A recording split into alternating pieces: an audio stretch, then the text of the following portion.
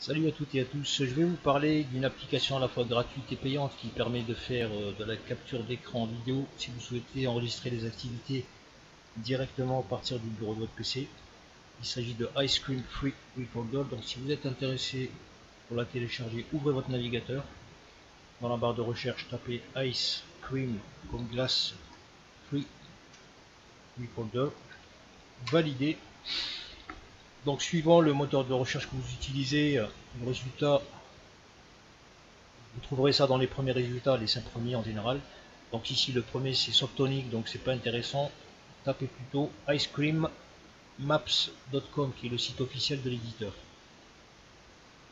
Donc ici par défaut on arrive sur la page du téléchargement du produit. Donc il faut savoir que Ice Cream entre autres produit pas mal de petits softs. Alors j'ai pas testé, je ne sais pas s'ils sont tous payants, tous gratuits. C'est juste pour vous dire que voilà, il y a des petits softs euh, qui sont intéressants de voir. Donc celui qui nous intéresse c'est Screen Recorder, donc tapez sur en savoir plus. Sur la page de téléchargement, donc vous avez le choix entre la version gratuite ou la version pro. Donc la différence elle est toute simple, c'est que sur la version gratuite on est limité à un temps d'enregistrement maxi de 5 minutes et un format de sortie vidéo en WebM, bien sûr avec un codec VP8. Tandis que sur la version à 30 euros, on est pas limité par le temps, on a plusieurs formats de sortie et plusieurs codecs ainsi que d'autres fonctionnalités tout simplement. Pour lancer le téléchargement, pour ma part ça a été déjà fait, cliquez sur Free Download. Donc ici on voit que le soft est adapté à l'univers Microsoft pour les OS qui vont de Vista jusqu'à Windows 10. Donc vous avez une petite fenêtre qui va s'ouvrir, cliquez sur enregistrer. Une fois téléchargé et installé, l'application, donc l'installeur va déposer un raccourci sur le bureau donc ici j'en ai deux, je ne sais pas si j'en ai fait un manuellement, il y en a un pour le screenshot pour faire de la capture d'image et l'autre pour faire de la capture vidéo. Donc de toute façon les deux liens, les deux raccourcis mènent à la même interface que vous voyez devant vous, donc elle est vraiment très simple. On va commencer par la partie haute. Donc ici ce sont tous les outils, les petits panneaux déroulants pour accéder aux tâches. Donc captage d'écran. Donc captage là ils sont trompés, hein. le captage c'est un terme correct mais qui n'est pas relatif à ce type d'activité dans le sens où le captage par exemple on le fait sur l'eau, l'air, etc. Ils auraient dû mettre capture tout simplement. Donc zone personnalisée, c'est pour sélectionner une zone au choix sur son bureau. Voilà, je fais ça. Si je suis pas content, je reviens sur l'interface en cliquant sur la croix. Et je refais donc une manip plein écran. Par définition, on aura du full screen c'est pareil, je peux modifier en tirant sur les poignées latérales disposées sur le porte de l'écran. Je clique sur la petite croix pour venir à l'interface. Dernière zone, donc la dernière zone que vous avez utilisée pour faire, pour, euh, euh, faire un enregistrement, c'est celle-là qui s'ouvrira par défaut lorsque vous redémarrez une nouvelle capture. Détection automatique de zone, là ça va détecter une zone, voilà, déplacer le curseur sur une fenêtre, par exemple, vous pouvez ouvrir C Cleaner, par exemple, ou Format Factory.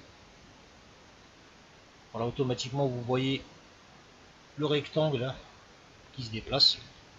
Donc, si je souhaite cliquer, euh, sélectionner cette zone, je clique ici sur le logo ou ici. Ensuite, on a la zone de capture autour de la souris. On a un petit panneau qui s'ouvre, qui propose différentes résolutions. Alors ici, c'est tout simple. Hein c'est que la zone de capture qu'on choisira suivra automatiquement le curseur en déplacement. C'est-à-dire qu'on aura une zone de capture mobile. pour le petit exemple, je vais partir sur du 400 par 240.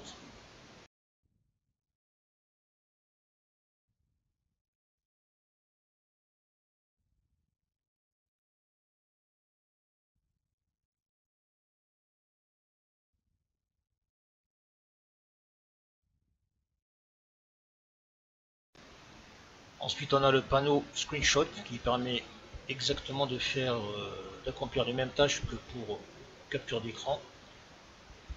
Donc zone personnalisée, le plein écran, la dernière zone et détection automatique de zone. Le troisième panneau consiste le réglage du débit sonore du micro. Donc on peut choisir entre trois niveaux sonores, faible, moyen ou élevé. Et le dernier euh, menu concerne donc les tâches. Donc il faut savoir que la programmation d'enregistrement n'est possible que sur la version pro, mais je vais quand même vous montrer. on clique sur tâche. on clique sur plus pour en rajouter une nouvelle, on détermine la zone de capture. Ici, Start et Stop, on va pouvoir modifier et la date et l'heure donc de commencement et de fin d'enregistrement. Ici, on donne un titre. En dessous, les variables, on peut les modifier manuellement. Sinon, on peut retourner sur les résolutions prédéfinies. Voilà, une fois terminé, on enregistre. Voilà, comme c'est la version gratuite, on n'a pas accès à cette fonction. Sur la partie basse, euh, il y a deux liens cliquables qui permettent d'accéder directement au site de l'éditeur. Le premier pour acheter la version Pro. Le second pour accéder à l'aide. Donc une documentation qui est tout en anglais. On a également la possibilité de chatter directement avec un employé donc qui est en ligne ici. Donc est-ce qu'ils sont disponibles rapidement ou pas Bon, je ne sais pas, je vais dire hello. On va voir le temps de réaction. Sachant que s'ils sont aux États-Unis, il y a moins 6 heures, je crois, un truc comme ça. Donc s'il est en ligne, normalement il doit répondre relativement rapidement. Voilà, donc vous voyez en quelques secondes comment puis-je vous aider? Voilà, just testing.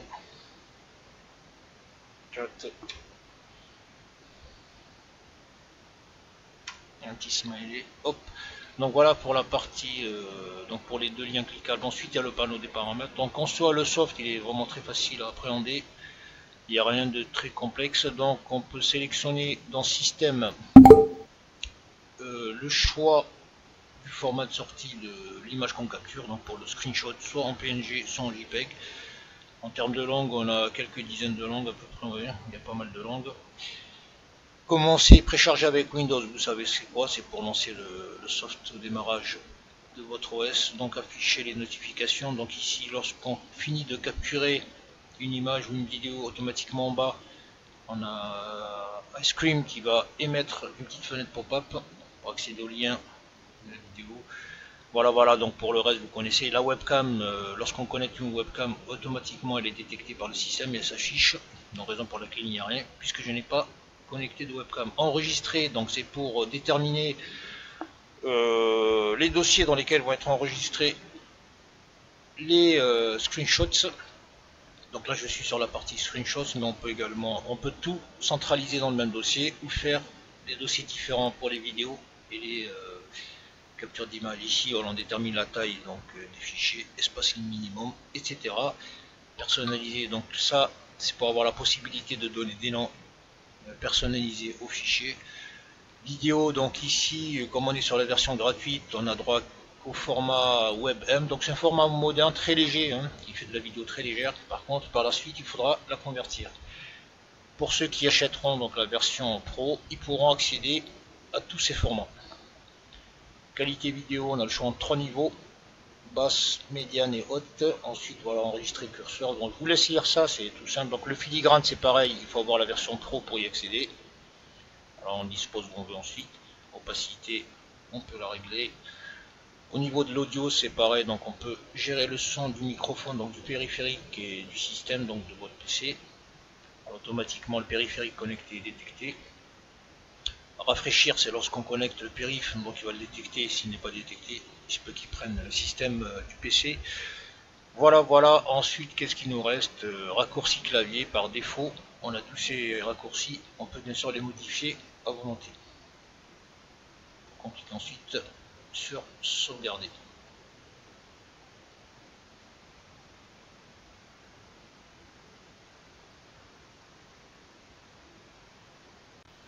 Maintenant, on va s'attarder sur les possibilités de cette application dans le sens où il y a quelques petits accessoires, quelques petits outils qui permettent euh, de personnaliser sa création, que ce soit au niveau de la capture d'écran vidéo ou de l'image. Donc je vais faire un petit test pour vous montrer. Je vais prendre le plein écran. Donc toujours s'affiche la barre d'outils flottante qu'on peut manipuler. Donc des deux choses l'une, j'ai rien à faire, je passe directement à la capture, donc j'appuie sur le gravé. Ici l'icône minuteur, c'est tout simplement pour régler des délais d'enregistrement prédéterminé ou modifié. Donc ici, ça va de 1 à 60 minutes. Donc je le rappelle, le soft en version gratuite permet un enregistrement de 5 minutes maxi. Donc j'ai pas encore testé euh, honnêtement, donc je ne sais pas si on peut le faire, mais je suppose qu'on peut le faire. De 1 à 5 minutes. Voilà pour la version pro. Donc bien sûr on peut le faire et on peut même personnaliser par exemple si je souhaite prendre une durée de 2 minutes qui ne figure pas dans la liste, mettre 2 minutes et enregistrer des vidéos de cette durée. Passer c'est pour tout simplement pour accéder à la version pro. Zone c'est pour régler la zone de capture, dans mon cas c'est le full screen, c'est déjà fait. Dessiner, c'est pour accéder au panneau dessin. Ici c'est pour zoomer, dézoomer, donc x1 c'est 100%, donc si je commence à zoomer, x2 c'est 50%, x4 donc c'est 100 divisé par 4, 25%, divisé 100 divisé par 8, etc. Donc on peut aller jusqu'à x16. Ensuite ici on a les accès rapides, donc ici je suis sur euh, bien sûr la capture d'écran, vidéo. Ici, c'est pour accéder au son système. Ici, l'icône pour accéder au son périphérique. Concernant le panneau d'outils graphiques, donc dessiné, en cliquant dessus, on ouvre le panneau.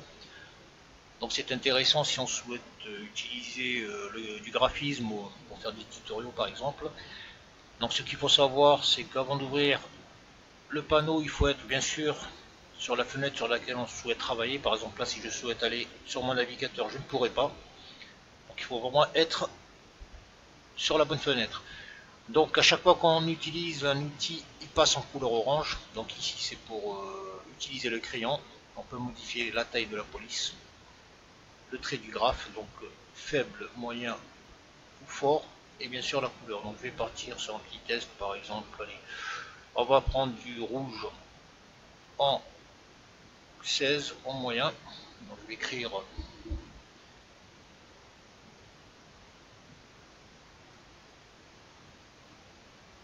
Voilà, je vais écrire en bleu en plus gros Ali, donc en bleu en arabe. Ensuite, euh, si on se trompe, on peut revenir en arrière. Donc ce qu'il faut savoir, c'est qu'il y a deux outils. Supprimer et nettoyer supprimer fait du step by step, c'est-à-dire étape par étape. Si j'ai par exemple, euh, je vous montrer un exemple plus simple pour faire simple, je reviens sur le crayon, je vais mettre trois traits, 1, 2, 3, donc si je fais supprimer, je vais me supprimer action par action, donc les, les, trois traits en trois fois. Par contre, si je fais trois traits et que je fais nettoyer, là ça va faire un effacement total, tout d'un coup. Donc toute ma composition disparaîtra. Le traçage de flèches, on va prendre des flèches rouges. Donc on peut changer la direction. Donc on peut toujours choisir donc euh, la taille du trait.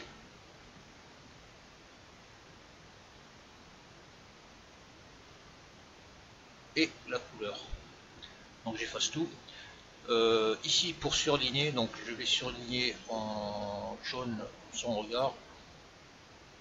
Ici on a la gomme donc le tracé de la gomme est fixé, on ne peut pas le modifier, c'est-à-dire que, quoique j'ai pas testé, on va dire n'importe quoi, on est toujours pareil, que je le mette en 34 ou en 16, on a toujours le même tracé, donc pour changer le tracé, il faut passer sur les lignes, je suppose.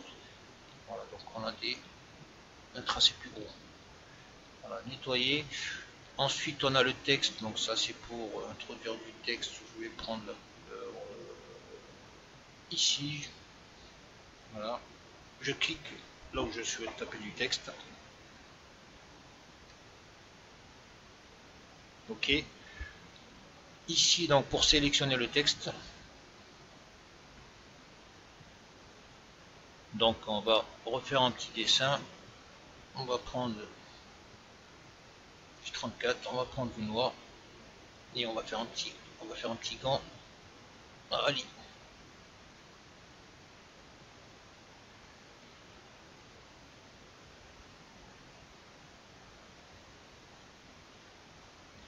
Voilà, ensuite on a euh, outil rectangle ou carré.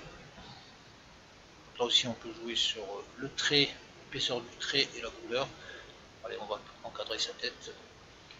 Tracer des cercles, vous pouvez le faire en Ensuite on peut introduire une numérotation. Donc toujours pareil, on peut choisir la taille, par exemple, et la couleur on va prendre euh, rouge. 1. Si je change de couleur, 2. Je vais changer de taille 13. J'aurai 3. Donc euh, ça va être une numérotation chronologique. Si on veut casser la chronologie, on vient cliquer ici sur ici. Parce que là si je continue, je vais avoir 4, 5, 6, 7. Et ça ne va pas s'arrêter. Par contre, si je casse la chronologie, je repars à 1, 2, 3, et ainsi de suite. Donc une autre façon d'utiliser le panneau d'outils, par exemple, là, je suis sur le navigateur, hein, sur la page d'aide de, l'éditeur. Moi, admettons que je, je vais faire un petit tuto. On va faire un truc rapidos. Numéroté en rouge. Sélectionner une zone euh, dans une couleur euh, bleue. surligner un texte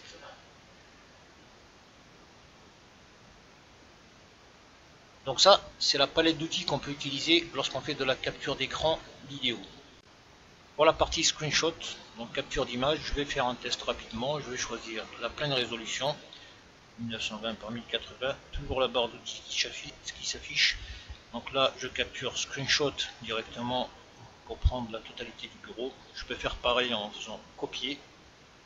ça va me générer une image. Je peux la copier, faire CTRL V et par exemple l'intégrer à un projet Photoshop en choisissant bien sûr la bonne résolution. Je fais clic droit, euh, CTRL V plutôt, et je colle l'intégralité donc de mon bureau. Ensuite, je peux partager une capture euh, via une URL qui sera fournie. Donc comment ça se passe? C'est tout simple, je clique sur URL, ça va me générer un fichier qui sera téléchargé directement sur euh, le serveur d'Ice Cream. Suite à quoi donc j'obtiendrai un lien par notification que je pourrai partager sur les réseaux sociaux et autres. Donc ça prend euh, quelques secondes. la suite à quoi je vais avoir la notif qui va s'afficher en bas pour copier l'URL voilà, qui est ici, copier l'URL de l'image. Je peux accéder aussi en fermant donc le volet dans l'historique de l'interface iScreen ici. En cliquant dessus, je vais directement atterrir sur donc le navigateur, donc sur les serveurs de iScreen. Vous voyez, j'ai la totalité de l'image qui est ici et que je pourrais partager via URL collé, copier. je vais copier dès là. Voilà tout simplement.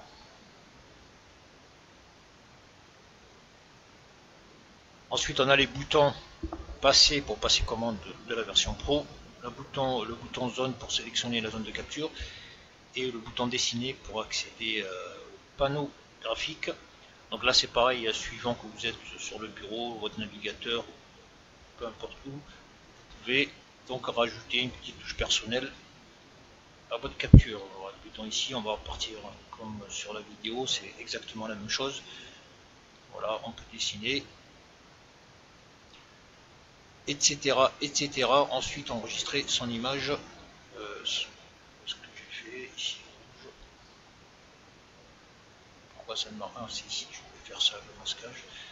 Voilà, voilà, donc euh, si vous souhaitez en radoucir, il y a un petit bouton qui n'est pas sur euh, la palette d'outils en capture vidéo pour adoucir les traits, mettre du flou plutôt. Voilà, voilà, donc pour ce qui est de possibilités avec ce soft. Donc de manière globale, c'est un soft assez intéressant dans le sens où sur la version gratuite, on peut faire pas mal de choses avec l'inconvénient bien sûr du temps d'enregistrement. Voilà, 5 minutes en gros, c'est quand même suffisant pour faire des, vidéos. il suffira juste de faire plusieurs vidéos quand on a un long projet et ensuite de les assembler sur sa table de montage. Voilà, voilà, je vous remercie d'avoir suivi cette vidéo et à très bientôt.